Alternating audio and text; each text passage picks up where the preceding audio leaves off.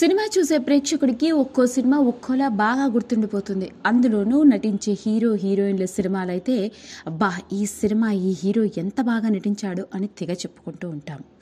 ఇదంతా ఒక ఎత్తైతే ఆ హీరోలే గనక ఆడవేషం కట్టి సినిమాలో కనిపిస్తూ ఎంటర్టైన్ చేస్తే ఎట్లుంటుంది?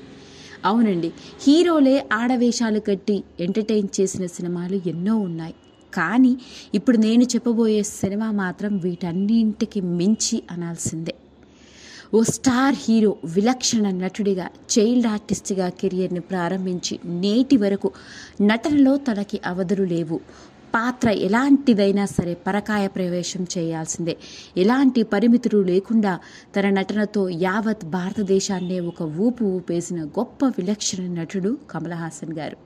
మరి అలాంటి కమల్ హాసన్ గారు హీరోగా నటించి అందులోనూ అదే సినిమాలో ఓ ఆడవేషంతో సినిమా మొత్తం ఎంటర్టైన్ చేస్తారు. ఇక ఆ సినిమా ఎలా ఉండింది అంటే బ్లాక్ బస్టర్ హిట్టే. మీ అందరికీ అర్థమైపోయి ఉంటుంది అది ఏ సినిమానో అవునండి ఏదో కాదు అవై షణ్ముగై అన్న పేరుతో తమిళ్ళో రిలీజ్ అయి తెలుగులో భామనే సత్యభామనే అంటూ బ్లాక్ బస్టర్ హిట్ కొట్టిన సినిమా. ఇక ఆ సినిమాలో కమల్ హాసన్ గారు రెండు పాత్రలు. ఒకటి మదన్గా ఇంకొకటి రుక్మిణిగా. కూతురు కోసం తండ్రి పడే బాధ. భార్యాభర్తలుగా ప్రేమించి పెళ్ళి చేసుకున్న మీనా కమల్ హాసన్లు విడిపోవడం కూతుర్ని కలవడం కోసం రుక్మిణిగా ఆడవేషం కట్టి ఆ ఇంట్లో చేరి చేసే సన్నివేశాలు ప్రేక్షకుల్ని బాగా అలరించాయి. అందుకే కమల్ హాసన్ గారు ఆడవేషం వేసిన ఆ సినిమా పెద్ద సెన్సేషన్ని క్రియేట్ చేసింది. ఆడవాళ్ళకే కన్ను కుట్టేలా ఉన్నారు అన్న ప్రశంసలు అందుకున్నారు.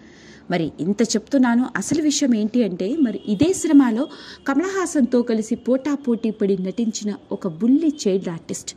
ఐదేళ్ళ వయసున్న అమ్మాయి సరిగ్గా తెలుగు తమిళ్ కూడా రాదు. కానీ ఈ సినిమాలో కమల్ హాసన్కి కూతురుగా భారతీ క్యారెక్టర్లో నటించి అలరించిన ఆ అమ్మాయి ఇప్పుడు ఎలా ఉందో ఏం చేస్తుందో తెలిస్తే మీరందరూ ఆశ్చర్యపోవలసిందే. ఆ చిన్నప్పటి చైల్డ్ ఆర్టిస్ట్ పేరు యానీ అలెక్సియా ఆండ్రా. తన మూడేళ్ళ వయసు నుంచే మోడల్గా కెరియర్ని ప్రారంభించింది.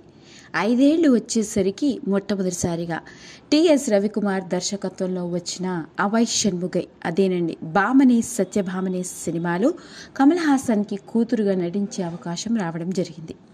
ఇక ఆ సినిమాలో విలక్షణ నటుడైన కమల్ హాసన్ గారితో పోటాపోటీ పడి నటించడం తండ్రి కూతుళ్ళు వీళ్ళు పండించిన కెమిస్ట్రీ ప్రేక్షకులందరినీ బాగా ఎంటర్టైన్ చేసింది. ఇప్పటికీ కూడా ఆ సినిమా బోరు కొట్టకుండా చూస్తున్నాము అంటే దానిలో ఈ అమ్మాయి నటన కూడా ఒకందుకు కారణం అని చెప్పాలి. నిజానికి యానీకి అప్పటికి తమిళ్ భాష రాదు. కానీ చిన్న వయసులోనే ఎంతో పట్టుదలతో డైలాగ్స్ నేర్చుకుని మరీ ఆ సినిమాలో నటించడం యానీలోని టాలెంట్. ఇక ఆ సినిమా తర్వాత దాదాపు రెండు వందలకు పైగా కమర్షియల్ యాడ్స్లోనూ నటించింది. పలు సినిమాల్లో కేవలం తమిళ్ళోనే మాత్రమే కాకుండా తెలుగు హిందీలో కూడా చైల్డ్ ఆర్టిస్ట్గా రాణించడం జరిగింది. తమిళ్ళో రిలీజ్ అయి తెలుగులో వచ్చిన అర్జున్ నటించిన జాతీయ పతాకం సినిమా హిందీలో అక్షయ్ కుమార్ నటించిన హేరా పేరీస్ సినిమాలో చైల్డ్ ఆర్టిస్ట్గా కనిపించింది. దాదాపు పద్నాలుగేళ్ళు వచ్చేంత వరకు కమర్షియల్ యాడ్స్లో కనిపించిన ఈ అమ్మాయి రెండు వేల ఏడవ సంవత్సరంలో చెన్నైలో మిస్ బ్యూటీ కాంటెస్టెంట్గా విన్నర్గా గెలిచింది. చదువు కారణంగా ఇండస్ట్రీకి గుడ్ బై చెప్పేసింది యానీ. కట్ చేస్తే ఇప్పుడు యానీ ఎలా ఉందో చూస్తే నోరెళ్ళ పెట్టవలసిందే.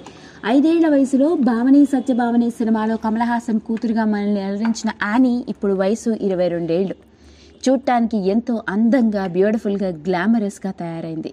రెండు వేల ఏడవ సంవత్సరంలో మిస్ చెన్నైగా కూడా గెలుపొందింది. కాకపోతే యానీ ఇప్పుడు సినిమా రంగం వైపు తొంగి చూడలేదు. ఎన్నో కమర్షియల్ యాడ్స్లో నటిస్తున్నప్పటికీ యానీ ఓ బిజినెస్ ఎంటర్ప్రెన్యూర్గా యంగెస్ట్ ఎంటర్ప్రెన్యూర్గా రాణిస్తూ మంచి గుర్తింపును సంపాదించుకుంది. సొంతంగా వేస్టెడ్ ఈడీ త్రీ సిక్స్టీ అనే వేస్ట్ మేనేజ్మెంట్ కంపెనీని స్టార్ట్ చేసి బిజినెస్ ఉమెన్గా రాణిస్తోంది. చిన్న వయసులోనే ఎంతో పెద్ద బాధ్యతలను తీసుకొని ఓ కంపెనీ ఫౌండర్గా నిలిచింది ఈ అమ్మాయి. మామూలుగా చైల్డ్ ఆర్టిస్ట్గా మంచి పాపులారిటీని సంపాదించుకుంటే ఆ తర్వాత ఇండస్ట్రీలోనే కొనసాగుతూ హీరోయిన్స్గా ఇండస్ట్రీని షేక్ చేసిన వాళ్ళు ఎందరో ఉన్నారు. యానీ పరిస్థితి కూడా అలాంటిదే. మొదటి సినిమాతోనే ఎక్కడలేని పాపులారిటీని సొంతం చేసుకున్నప్పటికీ ఆ తర్వాత ఇండస్ట్రీకి గుడ్ బై చెప్పేసింది.